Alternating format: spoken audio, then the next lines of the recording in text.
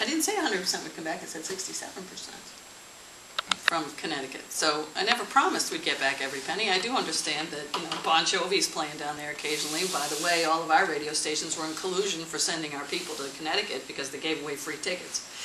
Um, we send people out of state constantly. What I'm saying is we're supposed to be the tourist destination. I'd like to do, have a few more tourist resorts. This is just another resort destination. It's not supposed to be um, the only type of resort destination in Maine. And certainly, if you go to Moosehead Lake or you go to Old Orchard Beach, you're going to have a very different resort experience.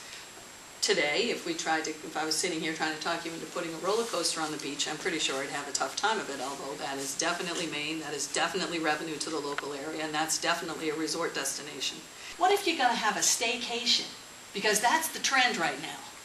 Why can't you have a staycation here in New England and have a nice time in a quaint little setting with a small little resort, not 12,000 employees like Foxwoods and 10,000 employees like Mohegan Sun, but 900 employees, with only 300 rooms in the hotels and four restaurants, so that people go into town and go to the other hotels and restaurants and shops.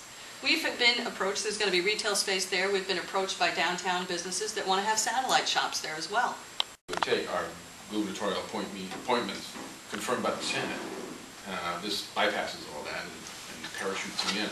Now, the- he says he won't do that, but, you know, they're going to renegotiate this entire bill. He's certainly going to have some leverage there, because that will become law.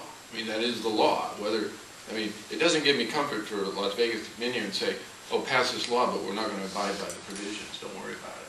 Because that, this is the law, this will become law. You know, the law that says, that lowers the gambling age from 21 to 19, the way it's written will affect Hollywood slots. I mean, I don't know what happens in December when this law becomes, if it passes, if a 19-year-old shows up at Hollywood slots, can I come in? Can they keep me out? I don't know. I, I asked the Gambling Control Board, that they didn't know either.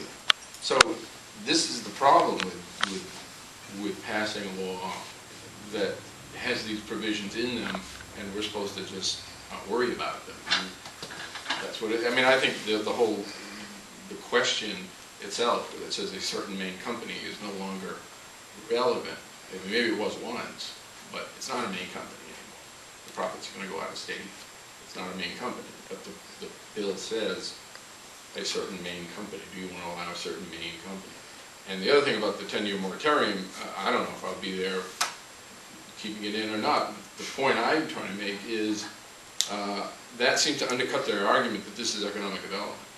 If it's economic development, why not let Calais have one? Why not let Portland have one? I mean, why not, this is economic development for the owner of this particular casino.